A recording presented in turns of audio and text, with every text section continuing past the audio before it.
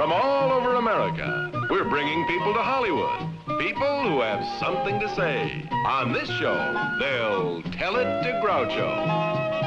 Brought to you by Polident Denture Cleanser, the soaking cleanser made especially to fight denture breath and keep dental plates clean.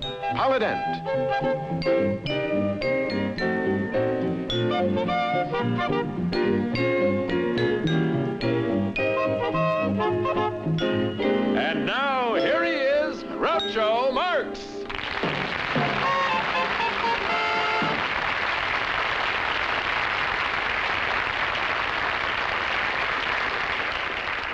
Don't applaud, just throw some money up on the stage. Thank you and welcome to the People's Network. And here is my assistant, Patty Harmon.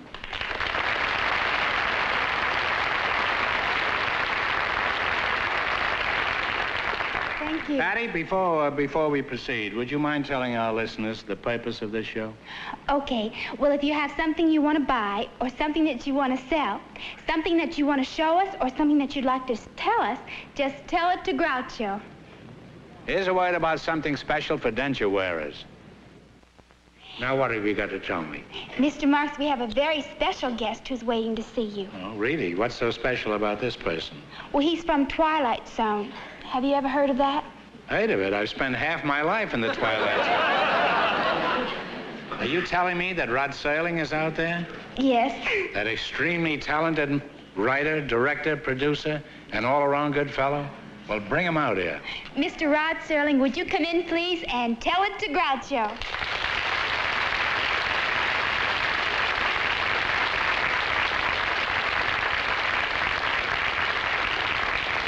How did you like that introduction? I loved just it. I love it. It's alive, but I loved it. Of course it's alive, but I had to say something to fill the time. Rod, I've watched your show many times, and I want to tell you it's wonderful. It's a great show. The only thing more spine-chilling than the Twilight Zone is the pedestrian zone around 5 o'clock. How long have you been writing, Rod? Oh, since uh, the early days of radio, Groucho, in 1946. You don't look that old. I am.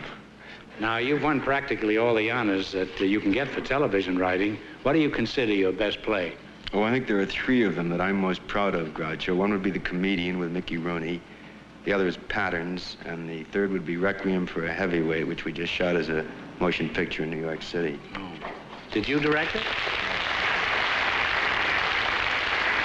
I, I couldn't. I couldn't direct traffic. That's why I was interested when you introduced me as a director. I've never directed anything. It's not nearly as tough as writing. Let me explain that to you. I'm sure not. That is the toughest job of all, the writer. No. well, they say first came the word. I guess Yeah, that's, that's true. And Shakespeare said it, you know, about the Another play's the thing, yes. And uh, he wasn't a bad writer in his day. I wouldn't want him today to putting a show together. You know, he keeps talking about kings and queens all the time. Well, Rod, you know the purpose of our show, so let's hear what you have to say. What are you going to tell me? Uh, I'd like to tell you, Groucho, about Batista Locatelli. Is that a dish of some kind? Is No. that some kind of pizza that I haven't encountered yet? Batista Locatelli is a waiter in a local restaurant here in town, and uh, uh, I heard him uh, singing uh, once in the restaurant as he was delivering the dishes. And uh, Delivering the dishes to another restaurant? No waiting table. Oh. But he sang so beautifully, and then upon talking to him, I discovered that uh, he had won several major scholarships, uh, including a uh, an opera audition, and I was very impressed, and that's why I wanted to come here and tell it to Groucho. Is he is he here with he's, you? he's backstage. Do you think he would consent to come out here and I talk think he to me? would be uh, most delighted, Groucho. Well, never let it be said that I've kept a waiter waiting. Patty, would you send Mr. Locatelli in here? Bring him in on a tray so he'd feel at home.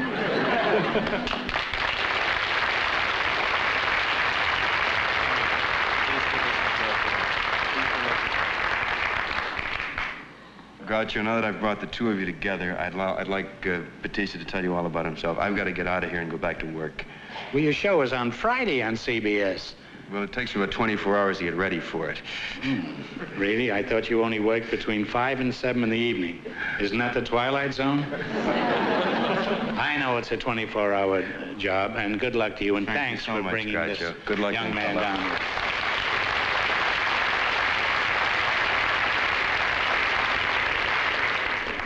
Rod, we'll take good care of him up here. Next time you meet him, he may be a busboy in a restaurant. now, let's get acquainted. Where are you from, Batista? I'm from Berbeno, Italy, and I was an American citizen born. You were... Wait, no, wait a minute. You come from Italy and you were born in America? Uh, no, American citizen. You're an American citizen now. Uh, I was born an American citizen in Italy. You were born an American citizen in Italy? Right. Well, how do you... You speak like an Italian. Well, uh, I was born in Italy, that's why I speak like an Italian. Well, now, how can you be in a... In a your name is Batista? I hate to mention spaghetti at a time like this, but is it possible you're off your noodle? now, Mr. Batista. Mr. Batista, uh, Mr. Sailing says you're a very good operatic singer. And if this is true, what were you doing as a waiter in a restaurant? Well, I've, I've done almost anything to support my wife and four children. I've uh, worked as a bartender, boss boy, truck driver, bulldozer, you name it, and I have done it almost. Are you still a waiter? Uh, no, You don't have any job now, huh? uh, no. Why not? Are you allergic to work?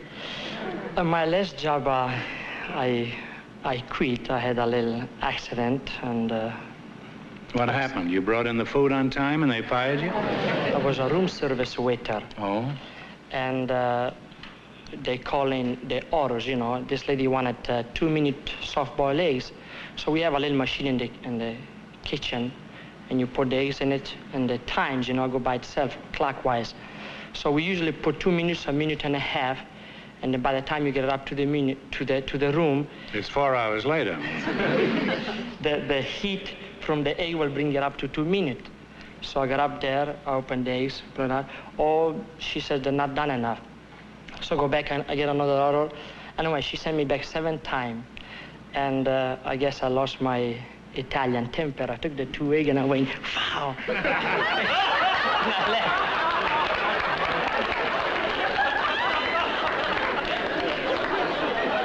Did you say, madam, this is a good yoke on you? Well, now, I understand why you're out of work anyway. now, how is your career coming? Have you tried to sing professionally?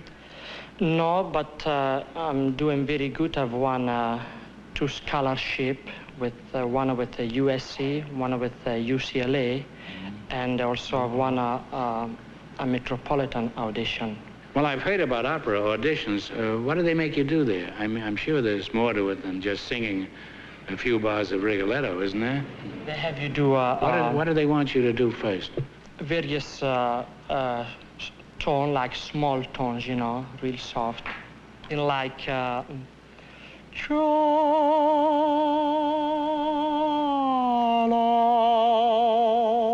It's a small tone. I can sing that. I can do that. There's no trick to that. What else do they ask you to do? Uh, uh, um,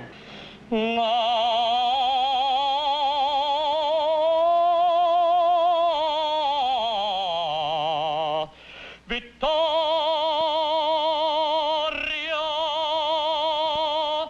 You various uh, things. Why do you that. sing Vittoria? That isn't an Italian queen, is it?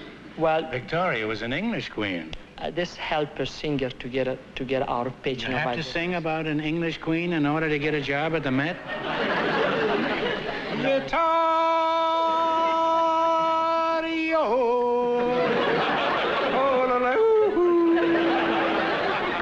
Think you will make a very good Pirkington and melon butterfly.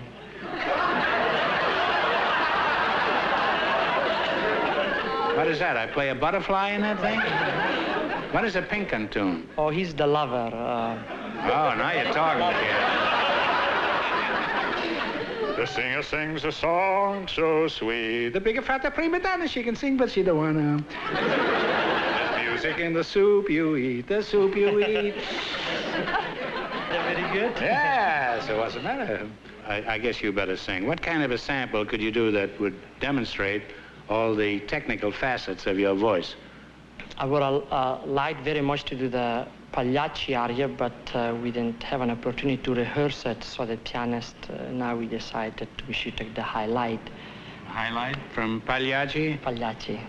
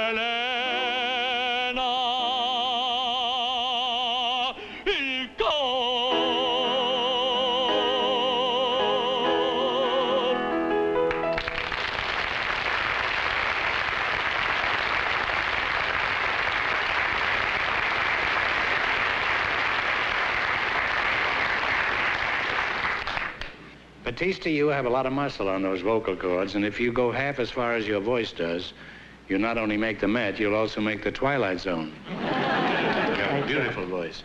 Now, since I'm sure you need money to continue your studies, we're going to give you a chance to win a medium-sized fortune. I appreciate Uh, that are you good much. uh, at recognizing characters on the screen? I, We're I, gonna I put a hope, picture up here. I here. hope you have something in Italian. Well, uh, the, you know, we're not allowed to fix shows anymore.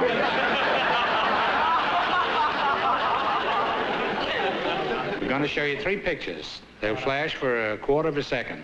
Now, if you identify the first one, you win $500. Is that clear? Thank Hmm? you. Mr. Mr. Serling is going to come out and help. Okay? Oh, fine. Okay.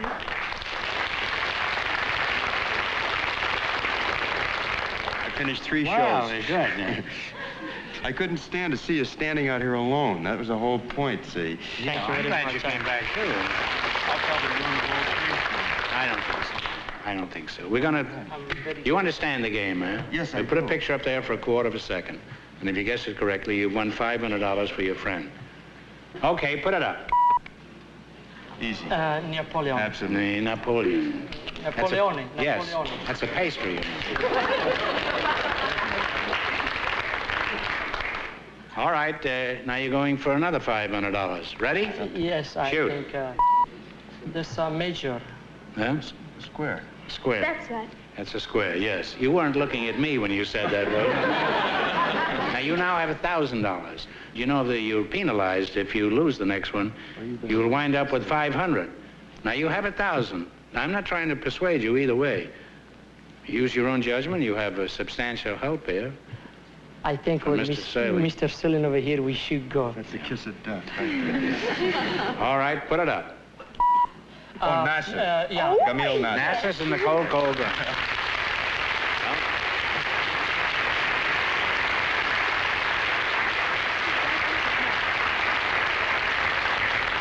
Well, thanks for coming out here tonight, Rod, and thanks to you for singing Thank you, good. with $1,500. Good night.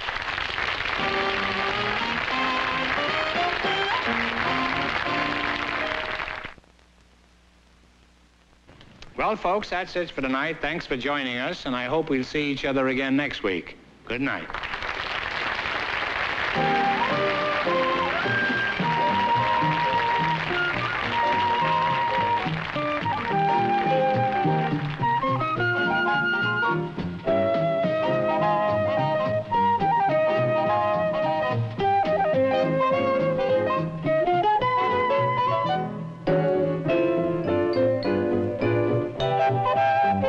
Tell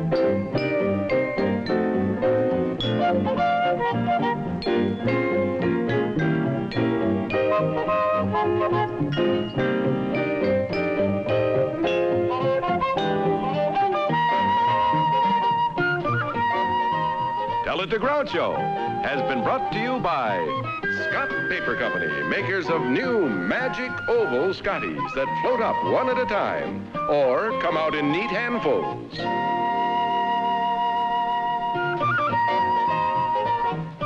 If you have something to tell Groucho, write Groucho Marx, Box 1989, Hollywood, California.